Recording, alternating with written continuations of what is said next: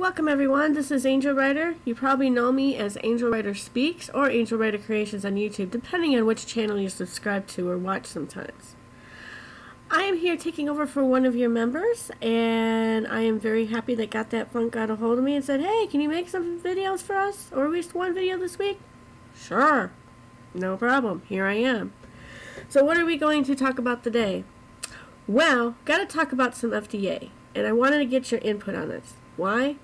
Well, for those of you who don't know, it's the Food Drug Administration, and these are the people that basically, in no uncertain terms, set the rules and dictate how we live, what we eat, what we consume into our bodies. Now, the reason why I'm a little bit ticked off about them is because is that they came out on May 10th of this year with regulations that would not only snuff out vaping and e-cigarettes altogether, especially those people and those of you who want to try smoking, um, but it also affects the cigar community and the hookah users. But the e-cigarette communities has the worst as far as the restrictions and what's going to happen to them. Basically, after August 8th, no new product can come out into the market, and that includes everything. The juice, the equipment, the coils, you name it, nada.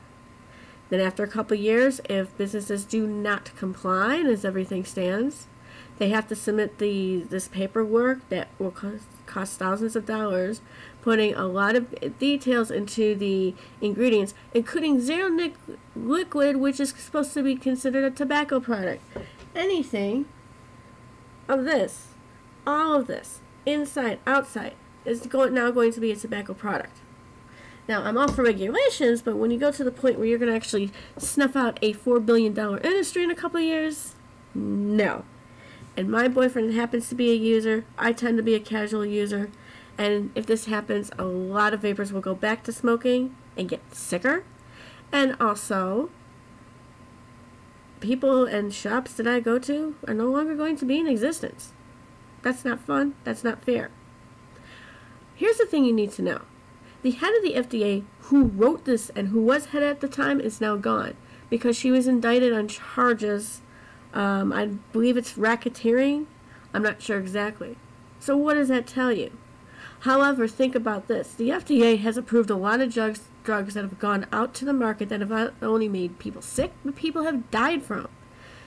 My mother, who's a cancer survivor who's taking some FDA approved drugs, has had to deal with some side effects, and she's had to make sure her body knows what's going on and conforms to what's going on.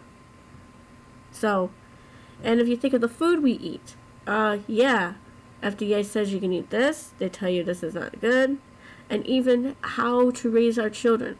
But think about it, if you rely on the FDA to raise your children, I can see it as a guideline, but not totally, because from what I know and what I've seen, and I'm not a parent myself, isn't parenting trial and error? So, where do you come in in all this? Well, for my fellow Breakfast Club uh, people who are going to be on this week with me, and who I'm very happy to say I'd like I'm going to enjoy your conversation. I want to know your experience, especially with FDA approved drugs or anything that's FDA related that you know of. Do you know about the FDA? Do you think they overreach and overstep their bounds at times? If you do, and especially if you're looking to quit smoking, want to try smoking, well, guess what? Or you want to try to quit smoking then? With something that's very, very healthy? Guess what?